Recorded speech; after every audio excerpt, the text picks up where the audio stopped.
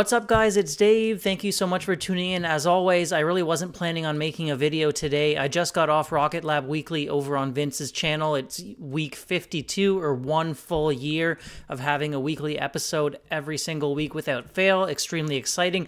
And even more exciting, though, is Rocket Lab just released the video of Archimedes hot firing and put to bed a lot of those rumors and discussions swirling around. And I'm just so excited. I had to quickly make a video. Let's take a look at the Archimedes hot fire video and then we're going to talk just a little bit.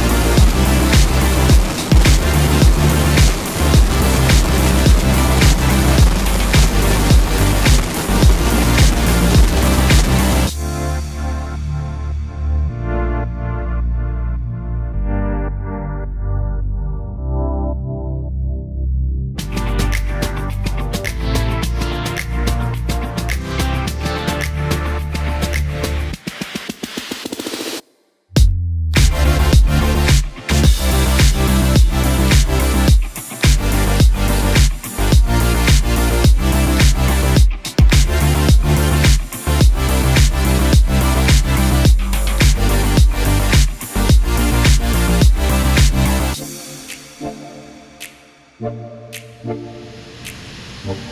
you.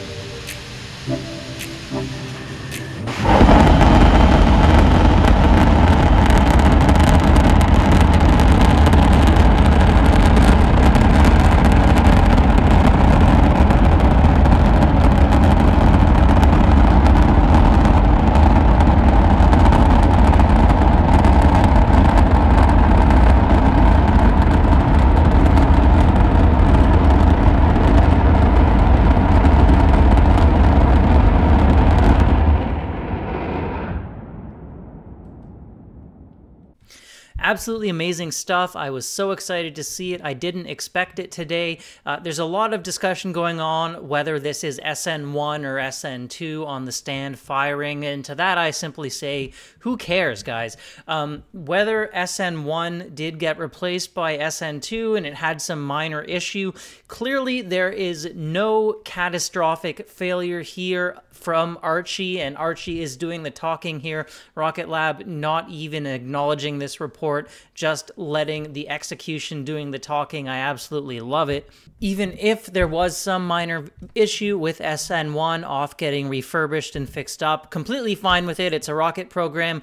If anything at all, it was maybe a hiccup, certainly not a catastrophe as the incumbents would want you to think. And even though the stock has more than doubled recently and my own shares have more than doubled, even though uh, in terms of paper gains, I'm up over $66,000 on the stock, I think I'm actually more excited when I see things like this get released, Archimedes firing, the structures coming together, those amazing pictures we've seen of the fairings after seeing all the struggles other companies like Relativity have had with their fairings, the body coming together, everything with Neutron starting to come, come together. Of course, you can't forget the space systems. We just saw the second spacecraft for Varda ready to be delivered, ready to go manufacture HIV drugs in orbit, a brand new type of space business that we haven't really seen before. And the reason all this stuff really gets gets me excited as opposed to the gains in my stock, which you would think I'd be excited about,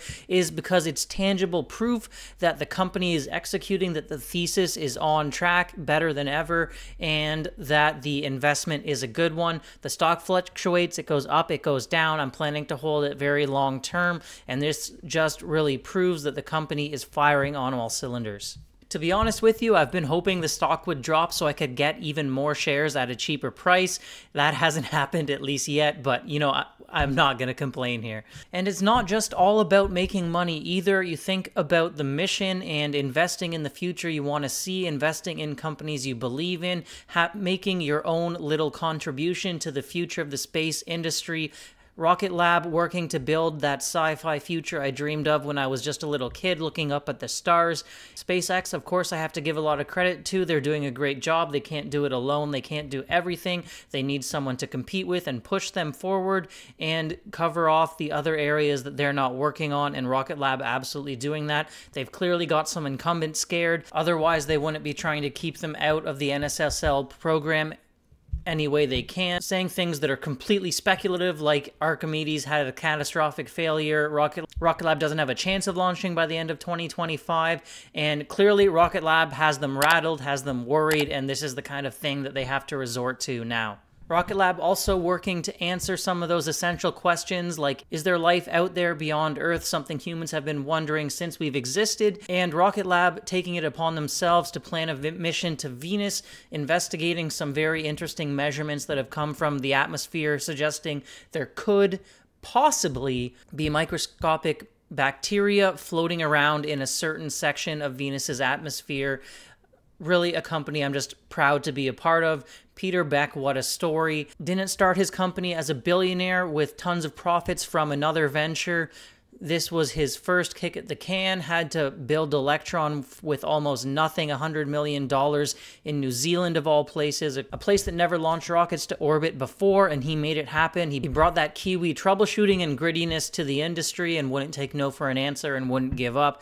And he's really done what some people thought should have been impossible, building a worldwide end-to-end space company starting right in little New Zealand. Amazing stuff.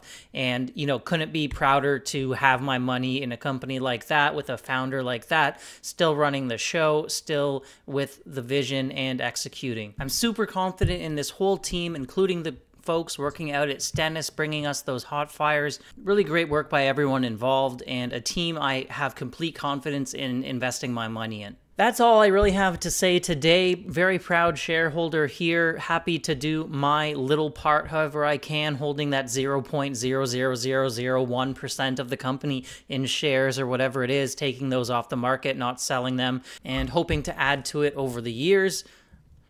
Really can't wait for Neutron to launch, can't wait for space systems to scale even further, for that constellation to get going, make a lot of money along the way, and help drive the future of the space industry in the process. So, I guess it's a little funny to say, but here's hoping we get a pullback where I can add even more shares, go even harder on the stock, and maybe on options as well. That's just me, though. Of course, everyone makes their own decision and I encourage you to do your own research and your own due diligence. Thank you guys so much for watching. Just a quick one today. Super pumped to see that video. Super pumped for Rocket Lab to put all those rumors and speculation to rest. And with the FUD coming, you know people are starting to get worried.